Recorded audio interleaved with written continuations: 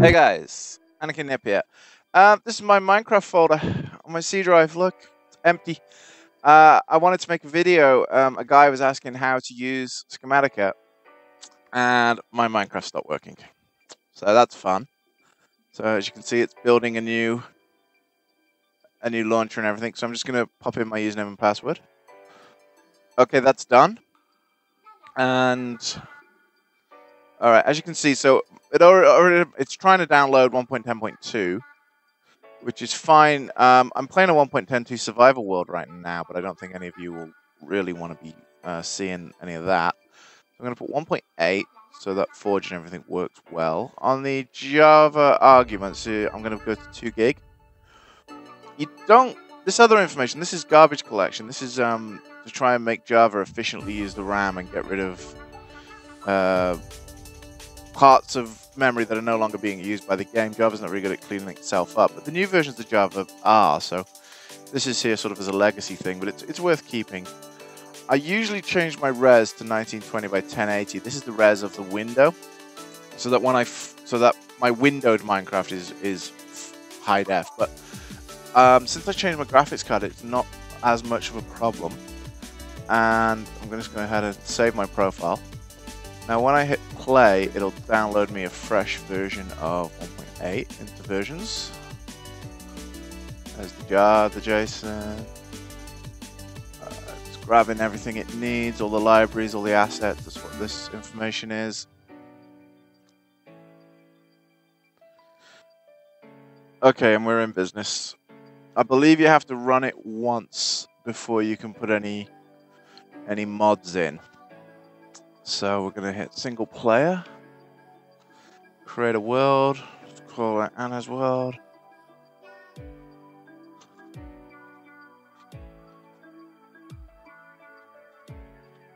Oh my god, I have Minecraft music in my ears, it's really loud. I don't know if you can hear that on the video. Sorry if you can, I, I'm not keen on this. Okay, job one. Let's get rid of the audio, just... There we go, just for now. That changing the audio there creates this. This is your options.txt. If you're playing sort of factions rather than survival, the first thing you want to do is put this to a thousand and save. And that's like having Fullbright on. It's not a hack, it's completely legal. Well, it is a hack, but it's completely legal. So, um, yeah, so now it's going to be Fullbright all the time, which I can't really show you because it's daytime and we're in survival mode. But trust me, you've got Fullbright on save and quit. Now, what we're going to grab now is Forge. I'm really hoping I've got Forge. Okay, so here we are getting Forge. We're at files.minecraftforge.net. We want 1.8 even. And we'll take the recommended because then it's stable. I'm on Windows, so we're going to take the Windows installer just to be lazy.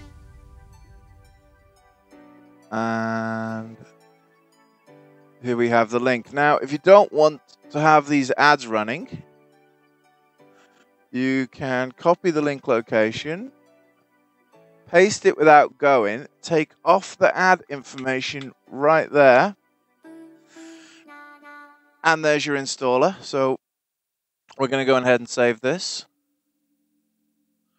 And then we're going to go ahead and run this. Let's go back to the desktop. So when you run the Forge installation, it'll give you this option to client, server, or extract. Um, we're just going to go client here. It's very easy. Keep an eye here. You'll see some changes. Um, well, you'll hopefully see some changes. Uh, I think it adds to the assets folder, and it also makes a folder called mods, but I don't know if mod, mods appears until you run the game.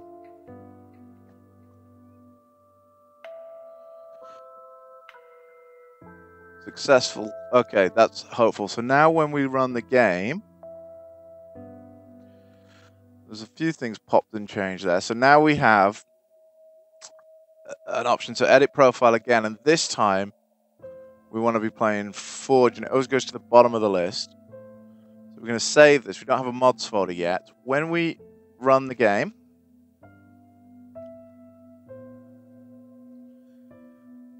there's our mods folder. That's where schematic is going to live. So that's really cool. This is your different loader. This is what happens when Forge loads. So now you have mods, search, add, done. Okay. I think we can quit out now. Okay. I'm going to go ahead and grab my mods, which I've got in a folder here. Uh, some of these are legal, some of these aren't. So, um, Autofish. Not a lot of server likes you using that. And Map Writer, some servers don't like you using that. So, don't use that on servers where you can't use it. So, we want the mod called Schematica. But this mod will not load without this Lunatrius core. This, this is the dev, the dev uh, Lunatrius. Now, his core runs his mods. One of his mods is Schematica.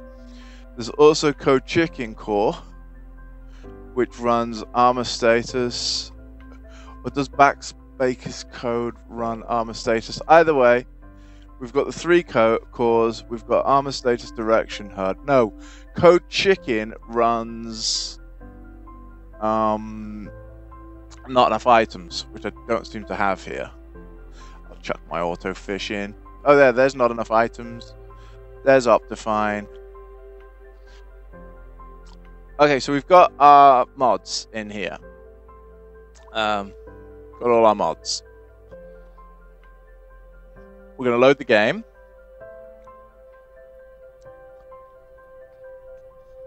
And this will take a while because it's got to run all these mods for the first time, so they're going to all be um, all be fresh.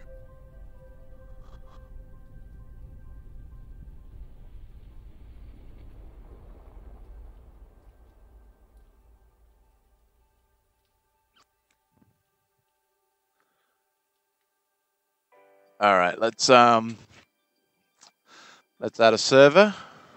Um,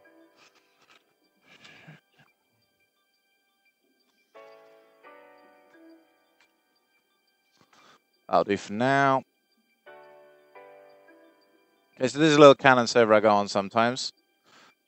Oh, this is like horrible because it's so fresh, such a fresh install. All right, so this is not my plot, but it's my cannon. Whose plot am I on? Okay, plot home five. And that's blown up. Plot home four. Sorry, I need to do something about this uh, resolution here right now. Woof. Video settings. Uh, that's better. Oh gosh, yeah, that's that's way better. All right, so to use Schematica now, hopefully it's loaded, we press asterisk, and this gives us a red point. And there's the red point. And we move it down, and we can move it across. And we actually want it lower than that, so I'm just going to go down here, just really lazy. So we're going to make red point. I believe there's a way of shift clicking this, um, but, you know, screw it. This is the way I like to do it. Then we go up here and we make a blue point. That encompasses the cannon. So then we'll save this, asterisk, um, my cannon scan. And we'll click save.